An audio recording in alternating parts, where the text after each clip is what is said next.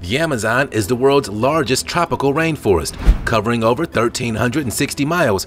It's so big that the United Kingdom and Ireland would fit into it 17 times, and it's found in South America, spanning nine countries, including Brazil, Bolivia, Peru, Ecuador, and many more.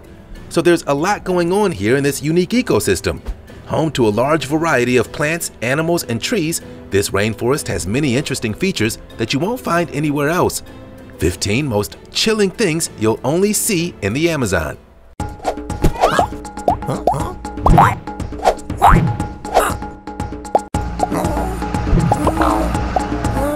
Giant Titan Beetle. In prehistoric times, insects grew to be as large as birds. The insects who died long ago had enormous wingspans, some as large as two and a half feet. They also had huge jaws and were probably vicious predators. Thankfully, they went extinct a long time ago. Today, insects don't grow anywhere near this size, but the specimen we'd like to introduce to you is the Titan beetle, the largest beetle in the world. The largest recorded specimen to date measured 6.5 inches. Titan beetles have strong mandibles that can snap wooden pencils in half and sharp claws on their legs to protect them from predators. And they hiss to warn off aggressors that are foolish enough to come close. Titan beetles live in tropical rainforests in South America, so you're unlikely to see one dashing across your North American kitchen countertop. Despite their size and elusiveness, though, the Titan beetle has a great many secrets. This beetle lives in some of the Amazon's hottest and most inaccessible tropical rainforests and only ventures out into the open when seeking a mate. And many bug lovers travel to the rainforest to see the Titan beetles in their natural habitat creepy giant anteaters. When it comes to this unusual animal in the Amazon, looks can be deceiving. There's more to the story of the giant anteater. This unique animal is the largest of the four anteater species, about the size of a large dog, but thick, bushy hair makes it look even bigger. Its name is a hint to one of its favorite foods, and you can't miss its long snout. The giant anteater's elongated head and nose are perfectly designed to get in and out of a termite mound or anthill. The crazy thing about these creatures is that although they have poor vision, bad hearing, and no teeth, anteaters can be deadly. Recently, a gruesome anteater attack left one hunter dead, just two years after another man was killed in a similar confrontation with one of these long-nosed creatures. Can you even imagine? While such incidents are rare and anteaters usually avoid contact with humans, the attacks should serve as a warning to humans encroaching on their territory. They have four sharp claws on both of their forelimbs that they can use to quarry ant hills and termite mounds, and apparently to inflict fatal wounds on humans.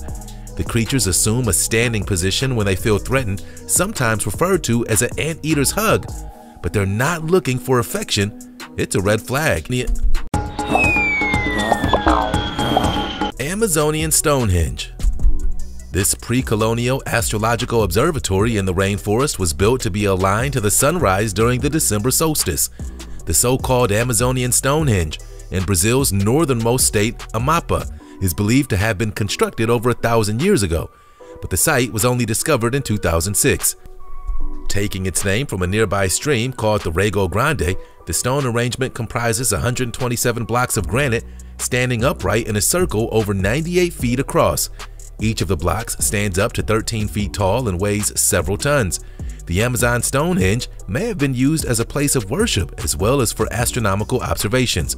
While the United Kingdom's Stonehenge is thought to date back to 3000 BC to 2000 BC, this monument was constructed later, around a thousand years ago, some 500 years before Europeans began colonizing this part of the Amazon. And that's why the indigenous people here may have been more sophisticated than archaeologists first thought. Despite not knowing the exact use of the Rego Grande site, most scientists agree that it alludes to a pre-Columbian society that was ahead of its time in many ways. Aliens in the jungle. As biologically diverse as the Amazon is, this peculiar creature would not appear to be a natural inhabitant of the Brazilian jungle, or Earth for that matter. Standing just a few feet from a mesmerizing flashing light, this unidentified being could offer proof that we're not alone in the universe. It's claimed to have been filmed by two British tourists visiting the region of the Amazon. While the camera is focused on some young children, seen in the distance behind them is a silvery light. However, it's only when the eyes are diverted to the surrounding jungle does it become apparent that there's a small being standing beside a tree. Is it the unmistakable form of a so-called alien? No explanation is offered as to what the light may be. While for many the images can simply be dismissed as a well-executed hoax, there are people who believe that this sighting proves the existence of aliens. What do you think? It comes from an area known for experiencing intense UFO activity, and some say the aliens are interested in this region due to its biological diversity. Plus, there are rumors that the area was also the focus of a high-level Brazilian government investigation where the army was sent in to monitor and confirm an alien presence in the region. Mapinguari. Could there be a Bigfoot in the Amazon? a creature that for the longest time has been said to roam the rainforest of Brazil. But with the theory of a long thought to be extinct being behind these so-called Bigfoot sightings, it could prove to be real. The vast Amazonian jungles are said to harbor a huge monster that's wrapped in mystery and local legend, the Mapinguari. Though the beast's physical descriptions may resemble the Sasquatch of North America or the Yeti of Himalayan lore, the comparison stop there Unlike its counterparts elsewhere, the creature does not flee human contact, but aggressively hunts us. Yikes! Nearly every tribe in these regions has a word for the creature, which can usually be translated as the roaring animal. They say it has a body of a giant bear, the backward turned clawed feet like those of a giant armadillo. The face appears monkey or even human-like, and a roar like endless thunder. Some legends even attribute its powers to the supernatural but all accounts agree that the creature is tall, about 7 feet, its upright bulk disconcertingly human-like when it stands on two legs, that it emits a strong, extremely nauseating and disabling smell. Bigfoot? How about Big Stink?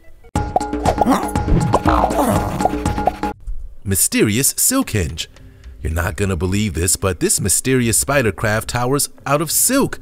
Look at this cool footage of a spider spinning an intricate version of Stonehenge called Silk Silkhenge, strange structures featuring a central tower of silk with a fence of silk spires surrounding it, confounding scientists with its intricate creations. Not only are the clever spiders still unidentified, no one has ever seen the arachnids actually make these works of art. But if there's good reason for these silk structures that sort of resemble a white picket fence surrounding a tower, spider babies. However, still more mysteries surround Silk Silkhenge. For one thing, scientists don't know what kind of spider creates it. DNA testing didn't match any known species. Of course, not all known species have had their DNA sequenced, and baby spiders are difficult to identify by appearance, so the researchers' next big task is to catch an adult in the act of building one. As for the silk fence, it may protect the eggs by keeping out water, or perhaps its function is to ward off parasites or predators. But inside, new spiders are getting ready to enter the world. Strange pink dolphins. Dolphins are some of the most loved marine animals in the world, though most people are only familiar with dolphin species that live in the ocean. But the Amazon dolphin, also known as the pink river dolphin or Boto, lives only in fresh water. It's found throughout much of the Amazon River basins. It's obviously famous for its pink color, but many don't know that it also comes in a variety of other shades. The dolphins actually start off gray when they're young and slowly turn pink as they get older. However, the truth is that the Boto, one of the few remaining freshwater dolphin species on Earth, is still something of an enigma. Out of the five freshwater species of dolphins, the pink river dolphin comes out on top. Measuring up to 9 feet and weighing up to 400 pounds, living up to 30 years, they also have unusually large brains with roughly 40% more brain capacity than humans. These dolphins are incredibly curious and outgoing animals. They have also been known to be fairly interactive with humans in the region, and the good news is that they are relatively abundant freshwater dolphins with an estimated population in the tens of thousands. Trees that walk. Of the more than 80,000 plant species that scientists estimate the forests of the Amazon may be home to, perhaps one of the most unusual is the walking palm. Like the Ents from the J.R.R. Tolkien's epic Lord of the Rings saga, these trees actually move. The interesting fact about this type of tree is that it employs a method for moving on when the soil is stripped of its nutrients. By producing new aerial roots that reach through the jungle, the walking palm is able to very slowly relocate to another part of the forest floor. specifically nutrient-rich soil and access to life-giving sunlight. They've adapted this way because these trees must compete with the neighboring trees in the forest. The trunk of this slender palm tree emerges from a cone-like set of aerial roots, visible above the ground. Acting like stilts, these roots keep the trunk raised above the forest floor. Some reports have claimed that this palm may be able to move up to 50 feet from its original position, in a process that can take years. Plus, its straight and slender main trunk has been used in the construction of huts or for making spears.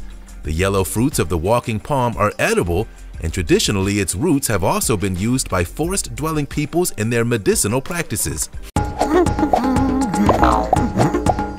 Plastic-eating fungus while scientists and fungus experts are in the know about these organisms' ability to eat plastic, it's big news to most of us, and now they're trying to figure out how this fungus can help the planet and actively attack one of humankind's biggest pollution problems, plastic. Could a solution to various environmental issues be solved with a secret from the Amazon jungle? The experts think so. This fungus in the Amazon's rainforest can degrade and utilize the common plastic polyurethane, a mushroom that eats plastic? Even better, the fungi are capable of surviving on plastic alone. It consumes it, which is the main ingredient, and converts it into organic matter. They can also live without oxygen.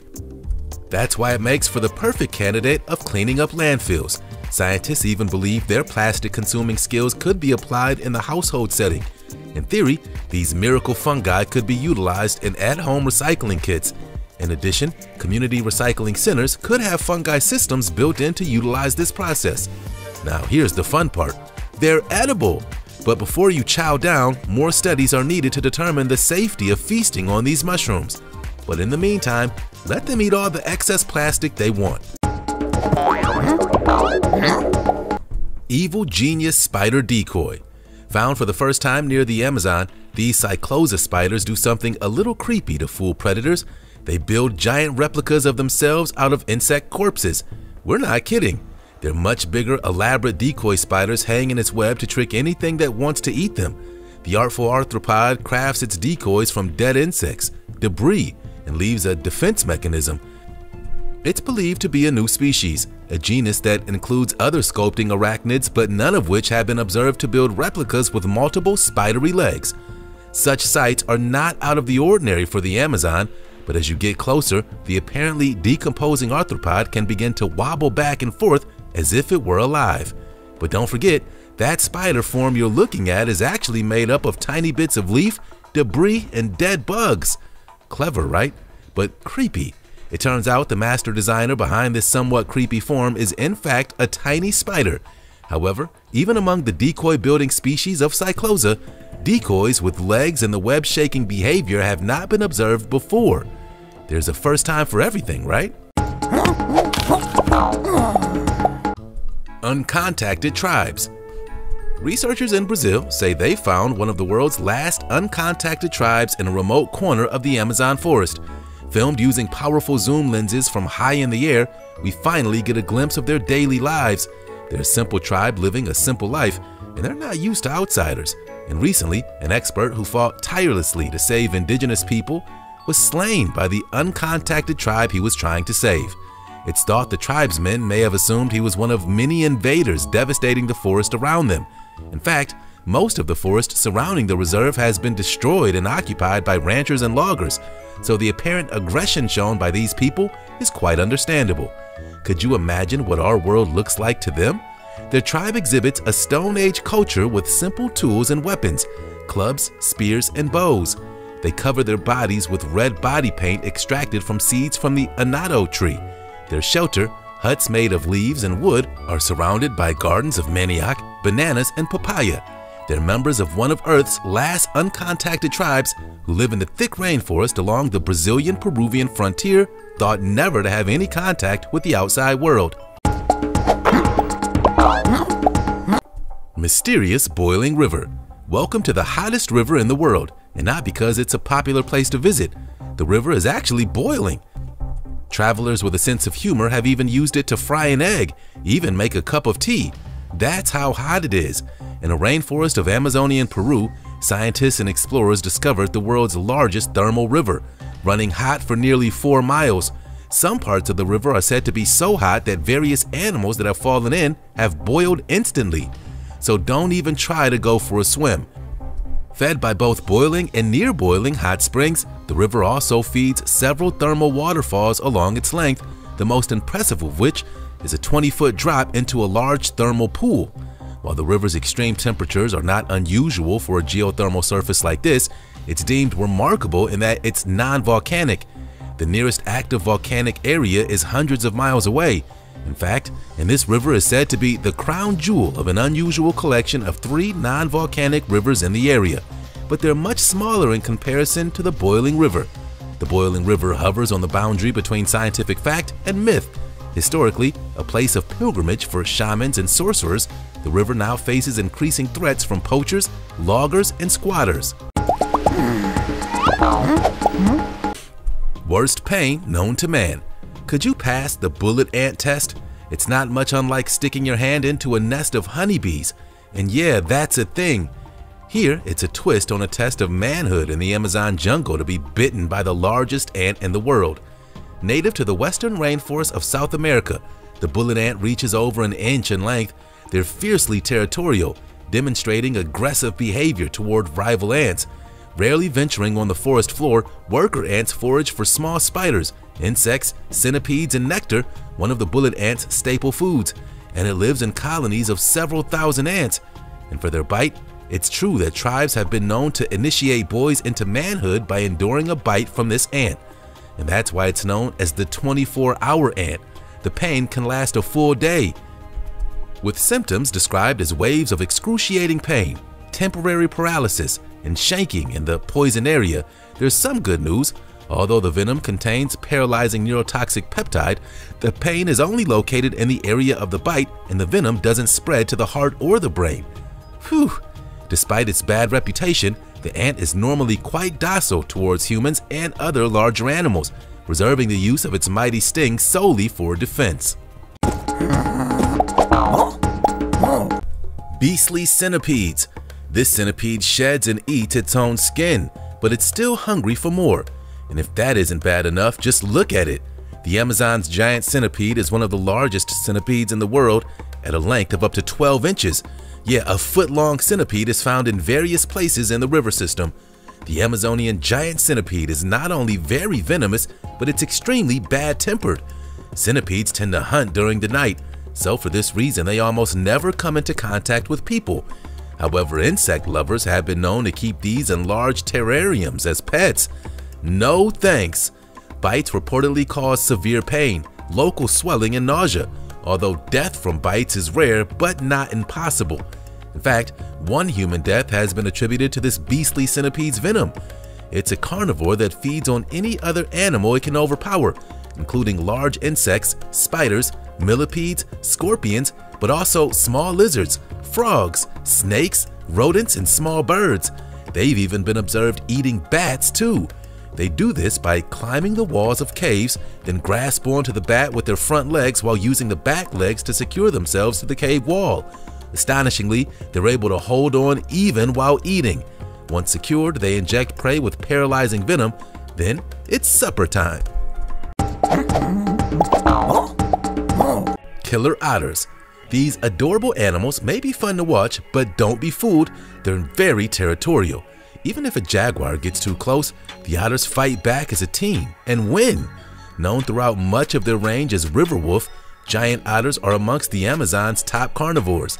The giant otter, the largest of the otters in its total length, is the cousin of the sea and river otters in North America, Europe, and Africa.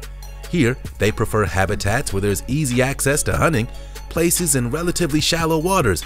But despite maintaining separate territories, these otters are highly social mammals with activities that include hunting, grooming, resting, and splashing around. This species is diurnal and lives together in family groups numbering up to eight individuals. A family consists of a mated pair and their offspring of several generations. The family members clear an area beside a stream for their living quarters, usually near feeding sites. Sizable burrows are then built under fallen logs. The established territory is then marked by their scent, and if intruders invade the family's territory, the parents will defend to the death if necessary. No matter how it gets in the Amazon jungle, there's no shortage of chilling things to discover. These videos prove it. And since you like us so much, like and subscribe and share this with your friends and family. There's more where that came from.